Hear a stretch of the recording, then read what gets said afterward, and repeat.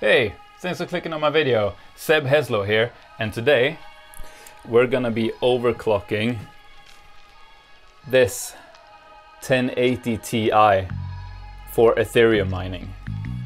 Alright, so first of all, let's open up MSI Afterburner, which I got here. And the very first thing I always do is just set the fan to 80 while I'm experimenting and overclocking. Hit apply. Right, and I can hear the fan spinning up now, so that is all good.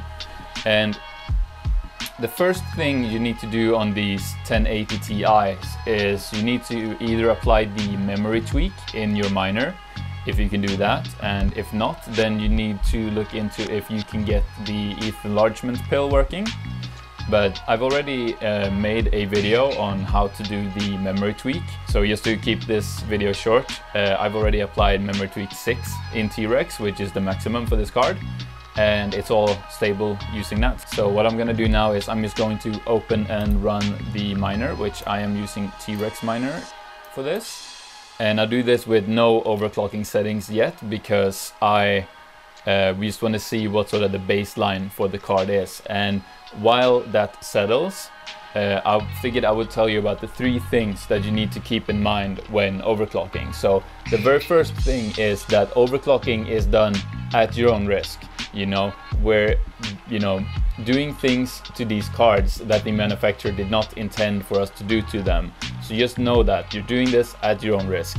The second thing is, and this will be very true, extra true actually in this video, and that is that even though I find some numbers here today that work for my card, doesn't mean at all that those numbers will work for your card, even if you have the exact same version of the exact same GPU, just due to the fact that each card is individual and unique.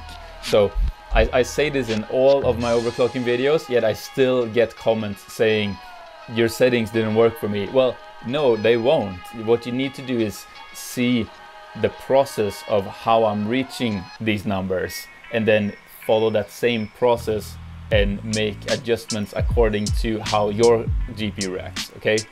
Please, guys, please. And then the third thing uh, that I want you to keep in mind is that when I overclock, I try to just get the highest stable hash rate that I can get out of these cards. Uh, it might be different for you. You might want to try and get the card to an uh, sort of as an efficient place as possible where you're getting like the most mega hash per watt. And if that's what you want to do, then you know, great, that's what you want to do. Uh, but for me, I overclock trying to get the highest stable hash rate that I can get. All right, cool. So yeah, I'm gonna be completely honest and say that I've cheated. I've actually had this card for about a month and I've already overclocked it. So I know uh, what overclocks work best for this card already. And the thing is that with this specific version of the 1080 Ti, it's really strange. Um, it does not behave like other 1080 Ti's. It's just this specific sort of Asus one. It behaves strangely.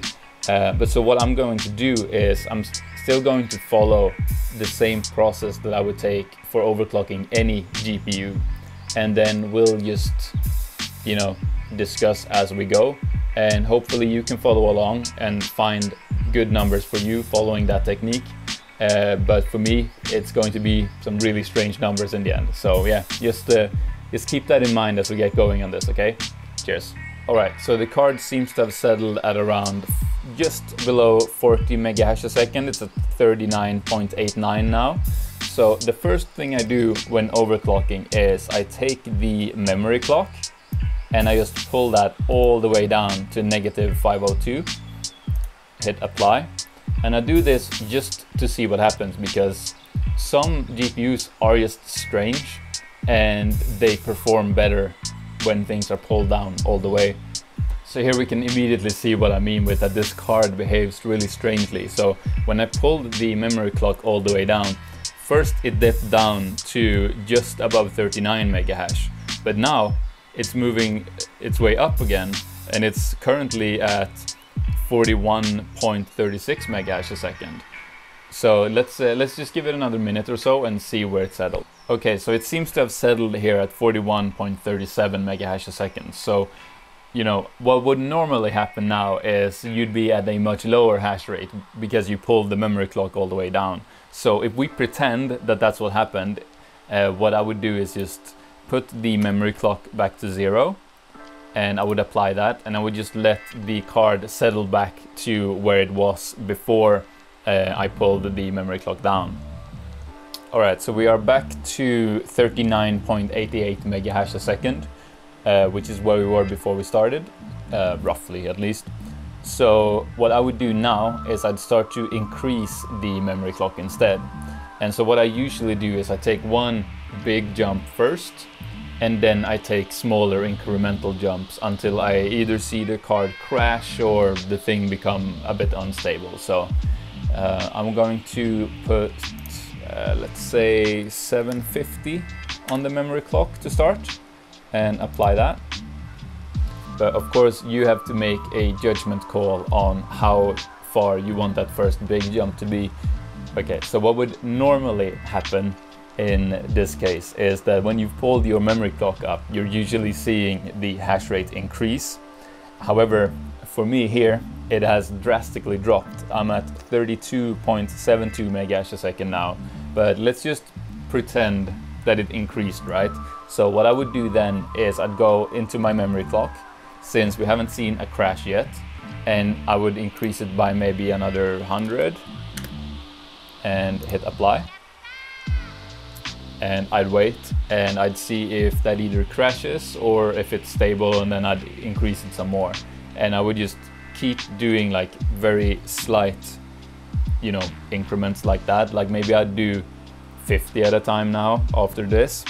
And whenever I see the card either crash in the miner or the whole system crashes or, you know, uh, I get weird artifacts on the screen or whatever, I would just take the memory clock uh, where, where it's at there and dial it back by maybe a hundred or so.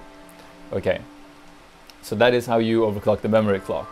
And since for me, the most, like the highest hash rate I got was at negative 502, that is where I'm gonna put the memory clock. But for you, probably the sort of the highest hash rate would be probably somewhere in the positive on the memory clock. All right, but you have to test your way to see where you get the best result. Okay. So I'm gonna pull my memory clock all the way down to negative 502 again. I'm gonna apply that and I'm gonna let the card stabilize where it was. All right, so my card has stabilized at around 41.36 megahash. Uh, so now we just repeat the same process for the core clock. So the first thing I'm gonna do is just pull it all the way down to negative 400, apply that and see what happens. And yeah, so I'm definitely losing hash rate by doing that. I'm down at 30, 34 megahash a second now. So I'm going to put the core clock back to zero, apply that, and just wait for it to settle back at that 41.3.4-ish where we were before. And then we're gonna start pushing the core clock up instead. All right, so we're back at 41.37 megahash a second now. So I'm going to start pushing the core clock up instead, but with the core clock you need to be a bit more sort of careful because uh, you usually don't push as high a number there. So uh, what I'm going to do is I'm going to start by saying plus 100 and I'm going to apply that and let's see what that gives us. All right, so it seems we got a slight increase in hash rate by doing that. We're at 42.98 megahash now, so just below 43. What I'm gonna do is I'm gonna do one more sort of big jump on the core clock to 200. Ooh, not 2200, 200. And I'm gonna apply that and see what that gives us. All right, so card seems to have stabilized at around 45.3-ish megahash. It's at 45.39 right now. So what I'm gonna do is I'm gonna take the core clock, which is at 200, and I'm gonna push it up even further to 250. Apply that and see what happens. All right, so my GPU just crashed here at 250 on the core clock. So what I'm going to do is, since I got a pretty decent hash rate at 200 core clock, I'm just gonna put it back to that and be happy with that. So I'm just going to let the miner settle back at that around 45-ish megahash and then we'll tackle the power limit together. All right, so we're back at 45.31-ish megahash now and let's start pulling the power limit down. So I got a power meter on the wall and currently for the whole system we're pulling about 242 watts so what I'm gonna do is I'm just gonna lower my power limit to 90%, apply that and see what happens. All right, so no real change to the amount of power we're pulling on the wall and no real change to our hash rate either. We're still at 45.35 megahash. So let's go even lower. Let's go 80% power limit. Apply that. And immediately on the wall, we went down to around 225 watts.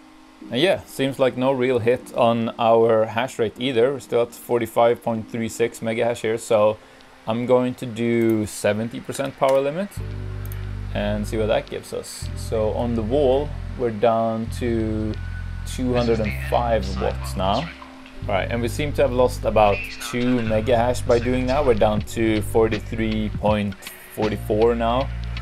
So I think what I'm gonna do is I'm just gonna set it back to 80% on the power limit and be happy there.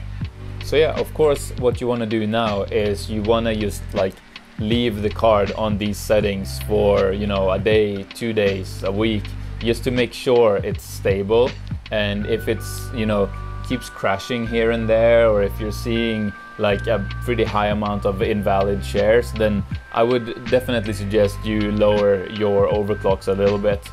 And also, uh, if you have a version of this card, then please leave your overclocking settings that you find in the comments below. And I figured we could build sort of like a little database of overclocking settings for 1080 Ti's down there. But yeah, if this video was helpful to you, then please give it one of these. I'd really appreciate it. And what you gotta do now is you gotta click on one of the videos on the screen, because this video is over. You can also click on the picture of my face to subscribe to the channel. I'd really appreciate that. But yeah, go click on that next video and I'll see you there. Goodbye. Bye bye.